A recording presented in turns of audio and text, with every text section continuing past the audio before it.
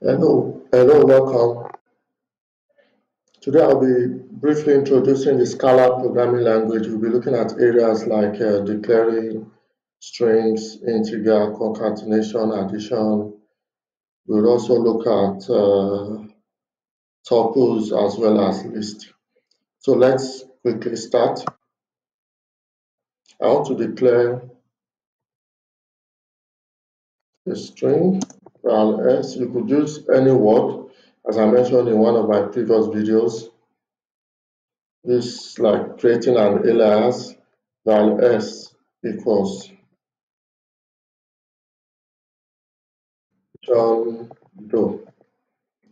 I want it to print John Doe, the value in John Doe, which is the value in S, which is John Doe. Execute.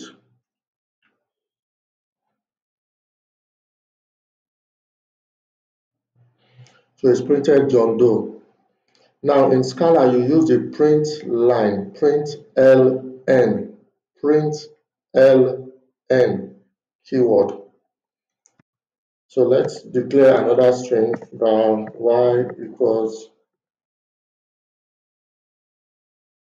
has no identity.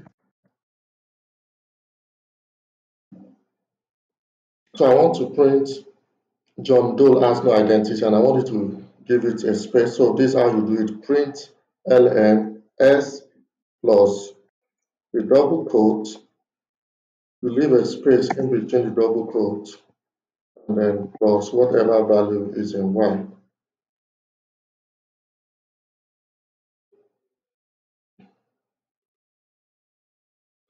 So that's it. John Doe has no identity. It's given a space. This space in between the double quotes is what is in here. So let's quickly declare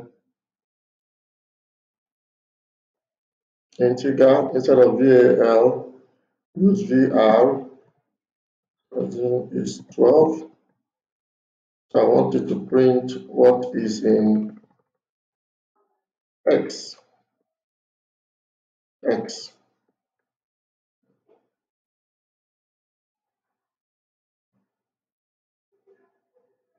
so that is 12 that's it here.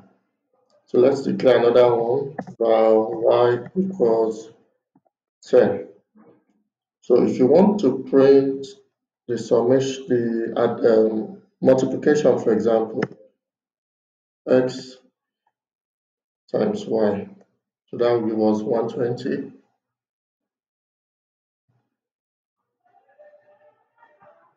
This is it, 120. Let's try the summation x plus y.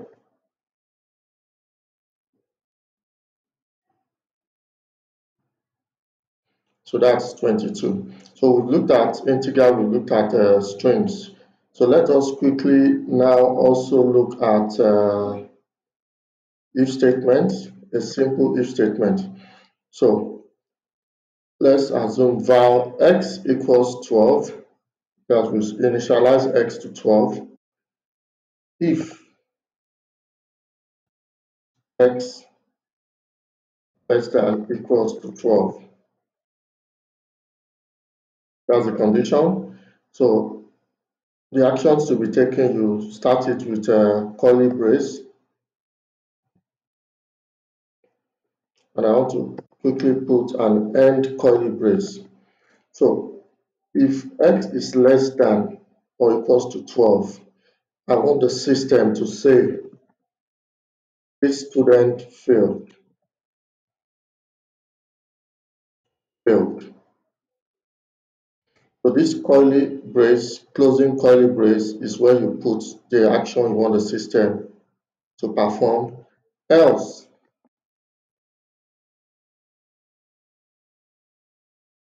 Another curly brace. System has put an end curly brace. Print. I want the system to say this person passed or this student passed. So let's test it. So we've initialized it to 12. So 12 should return fail.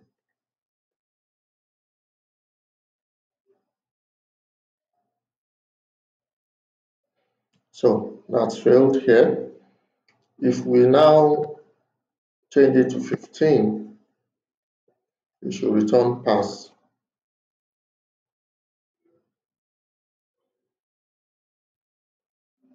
Okay, that's passed.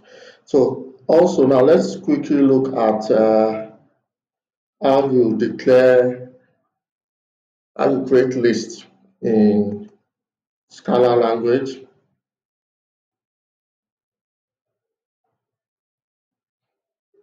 Okay, so list. Now let me also use the word s equals. So this is it, list.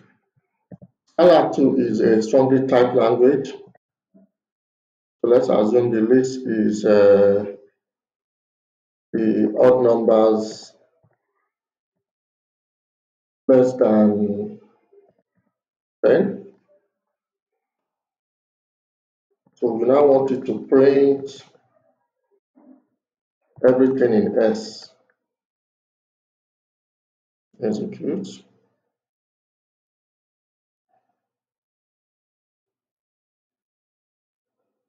Okay, so one, three, five, seven, nine. Now, if you want to access the value in S, you start with the first to the left is the zero, zero element, first element is the second element, second element is the third element. So if you want it to display one here, it will be print line. We've created S, then we create another open bracket, and then we say zero. As we wanted to print the first element, we would use zero.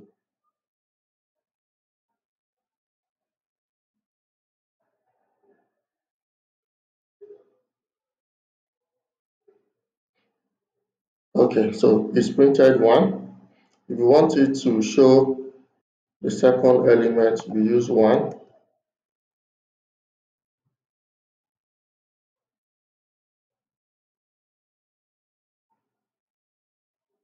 Okay, so 3 is the second element, so we used 1 and it displays 3.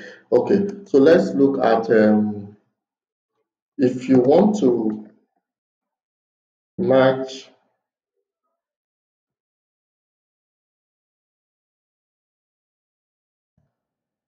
if you want to match now uh, if you want to match two lists so i want to create another list this time it will be even numbers two four six eight.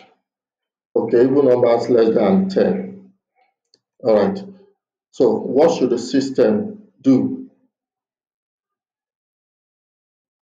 Let's assume val let me use j here. Equals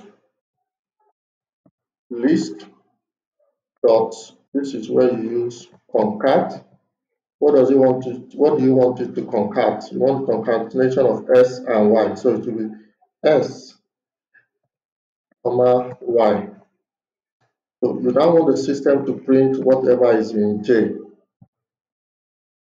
Hope i'm not being too fast so that should be able to give us one two three four but it will first list uh, the s and then we look at the y so that's it. I said you first list the S.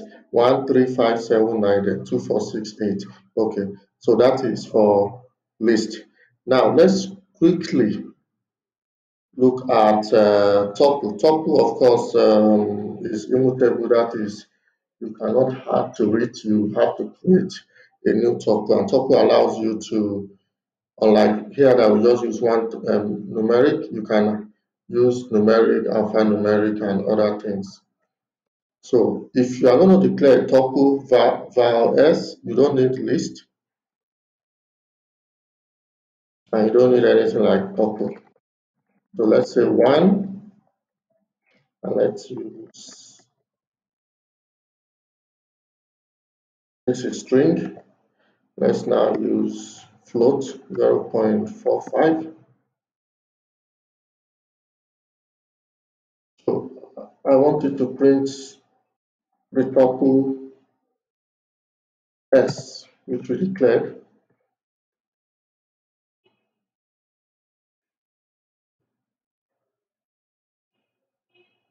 Okay, so that's it. One Shola 0.5. Now, if we're going to access tuple elements, it's going to be print line s dot.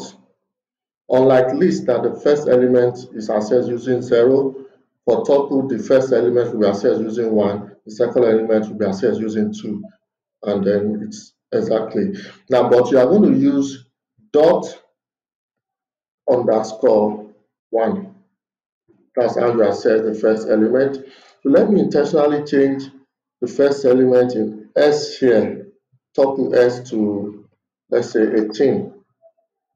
Now, if you are going to access the first element, we will print line S dot underscore one. So let's execute. All right, so that's 18. And if you want to access Shola, give underscore two.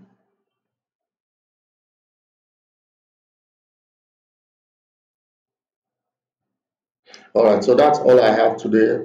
This is a brief introduction to the Scala language. Now, you would also notice that uh, Scala does not mandate you to put uh, semicolon at the end. So even though it's strongly typed, where um, just like C Sharp and some other languages like Java, you would see that it is not mandating me or you to enter any semicolon at the end of the statement. So that makes it a bit easy, a bit easy. So it's, it's a beautiful language. Its focus is to be like a bridge between a functional programming and object-oriented programming. Thank you for your time. Hope to see you